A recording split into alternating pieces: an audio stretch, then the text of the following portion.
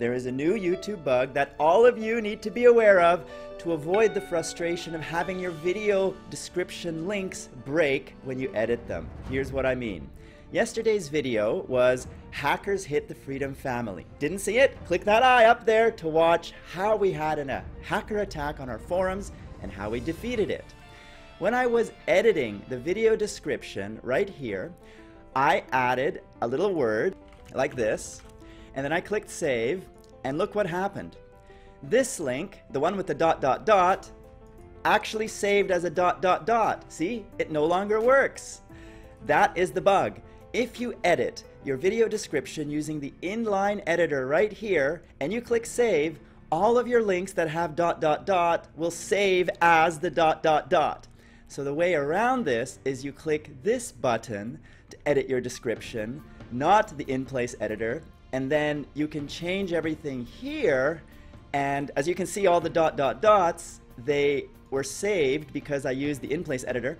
And how do you find all the dot dot dots? Well, just press Control F, type dot dot dot, and all of the dot dot dots will uh, uh, highlight so you can go and fix them manually. Now, there's no way to bring them back. You have to actually go get the original links and replace them in your description. And you have to do this for every single video that you edited using the inline editor unless you were aware of this bug. That's why everyone needs to know it right now. And go check your videos, all of your videos that you would have edited in the last week or so, or maybe even longer. I don't know when this bug was introduced. I just noticed it yesterday. So tell me down there if this happened to you. Regarding yesterday's video that hackers hit the Freedom Family, this is the website that was hit. It was our community forums. And as you can see, the site is back online and has been online for a long time now. There are many active members. There is a live chat, which I encourage you to use to communicate with our team and our community. And as you can see, we have, have 117,000 members currently registered on these forums. So it's a huge community where you can get feedback on your channel and help you grow faster. Speaking of growth, how big is the Freedom Family?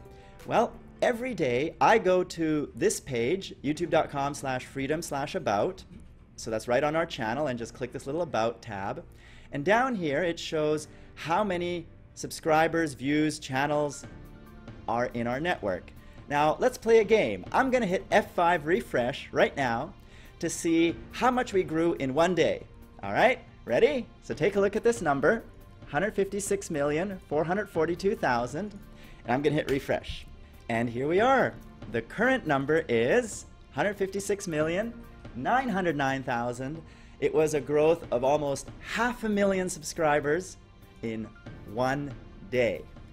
Let's see what this is tomorrow. Now guys, I have no idea what it'll be tomorrow, so this is a bit of a gamble on my part.